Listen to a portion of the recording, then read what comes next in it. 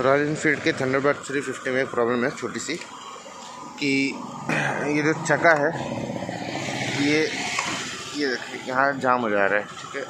बहुत ज़्यादा धक्का लगानी पड़ रही है। तो इसको चेक करने के लिए, सही करने के लिए कि आवाज़ भी आ रही है, चूँ चूँ चूँ चूँ ऐसी। तो ये क्या होता है कि बरसात वगैरह में ये, चूँ आई ये, है ना? ये आवाज़ सही करना है। तो आवाज़ क्यों आ रही है? इसके लिए डिस्प्लेट अपन खोल रहे हैं। डिस्प्लेट खोलने के बाद देखते हैं, इसमें कचरा तो नहीं है? अगर कचरा है तो डिस्प्लेट साफ़ करके लगा के चेक करते हैं। नहीं आता है तो फिर पंप इसका साफ़ करना पड़ेगा।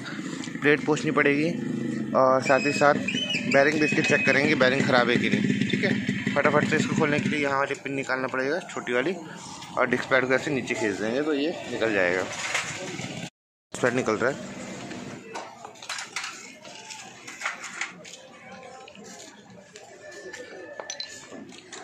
डिस्प्लेट में ये पूरे दाग आ चुके हैं। उसमें भी। इसको अच्छे से घिस के फिर लगा के चेक कर लेते हैं, आवाज़ आ रही कि नहीं। ऐसे घुमा के देखो नॉर्मली आ रही क्या आवाज़? नहीं आ रही मतलब डिस्प्लेट से ही प्रॉब्लम है, ठीक है? डिस्प्लेट को घिस के सॉरी प्लेट बोल रहे हैं डिस्प्लेट को घिस के फिर लगा दो। ये देखिए घिस, घिसा जो हुआ है, इसमें रेत मार, ऐसे मार के ये घिस दे रहे हैं। चाहे तो नहीं हो रेत मार तो रोड में भी घिस सकते हैं। लेकिन रोड में घिसने से स्क्रैचेस वगैरह थोड़ा सा और आ सकते हैं। इससे बेटर कि रेत मार दस रुपये का लेके। इसके आप घिस दीजिए, ज़्यादा सही रहेगा। ठीक है, घिसने के बाद अपन लगाते हैं। फिर चेक करते हैं इसमें साउंड प्रॉपर आ रही कि नहीं।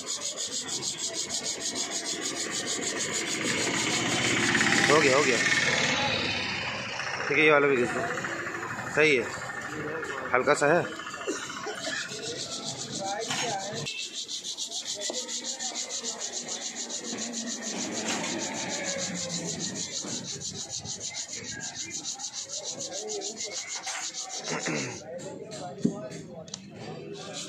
ये देखिए घिसने के बाद एकदम चिकना हो गया फ्रेश हो गया है।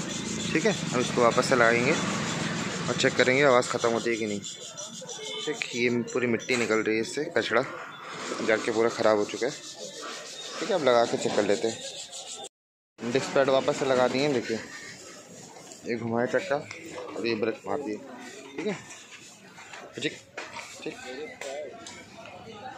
ये आवाज़ चेक करिए, आवाज़, कोई आवाज़ नहीं आएगी। ठीक है? ये फ्री हो चुका है अपना। तो इस तरीके से आपको बीच बीच में सफ़ाई कर लेनी है। जब भी आपका ये डिस्क पैड में ऐसे चूँ चूँ की आवाज़ आए।